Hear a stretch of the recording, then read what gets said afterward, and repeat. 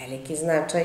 Naravno da one prve godine, formativne godine, dete provede u vrtiću i jako je važno kako to vreme provodi.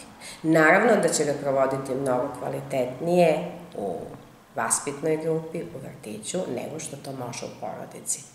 E, naravno, ova škola se trudi kroz sva programe da e, što više i što bolje osposobi vaspitače za njihov poziv i naravno u tu svrhu, osim ovog programa koji sada imamo u školi, a to je opšti smer, trudimo se da unapredimo i taj program, ali da napravimo i nešto novo, što bi naravno zainteresovalo buduće vaspitače i naše kandidate za ove studije.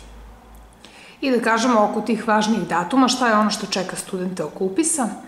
Ono što je aktuelnost sada i što je u toku, to je prijavljivanje za drugi konkursni rok za osnovne studije, Prijavljivanje kandidata je do 10. septembra, znači do narednog utorka, kada će se vršiti provera govornih i muzičkih sposobnosti. To je nešto što je uobičajeno, što je rutina za svaki upisni rok i zatim tokom dana slede testovi znanja, to je takozvani prijemni ispit, testovi znanja iz srpskog jezika i književnosti, iz informisanosti i kulture.